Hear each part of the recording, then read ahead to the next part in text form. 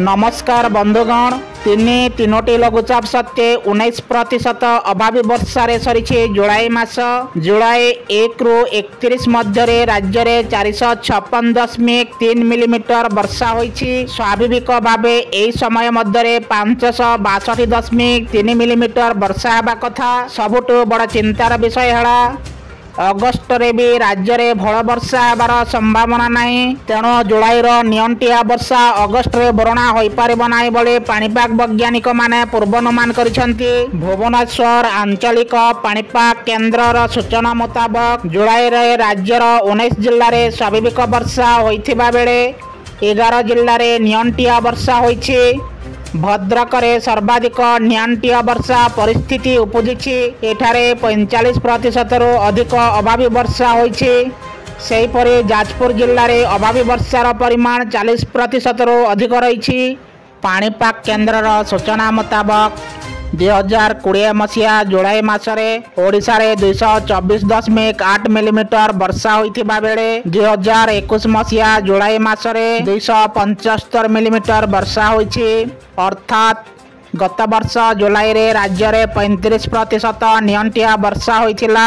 ପାଣିପାଗ କେନ୍ଦ୍ରର ସୂଚନା ଅନୁସାରେ ଅଗଷ୍ଟ ମାସର ଆରମ୍ଭରୁ ହିଁ ରାଜ୍ୟର କେତୋଟି ଜିଲ୍ଲାରେ ପାଗ ଶୁଖିଲା ରହିବ।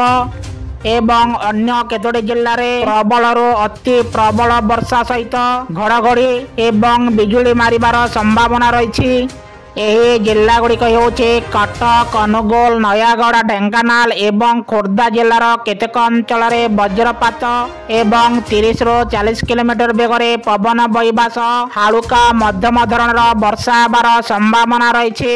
ପାଣିପାଗ ଉପରେ ନଜର ରଖିବାକୁ ଏବଂ ବଜ୍ରପାତରୁ ନିରାପଦ ଓ ସୁରକ୍ଷିତ ସ୍ଥାନକୁ ଚାଲିଯିବା ପାଇଁ ପାଣିପାଗ କେନ୍ଦ୍ର ଲୋକଙ୍କୁ ପରାମର୍ଶ ଦେଇଛି।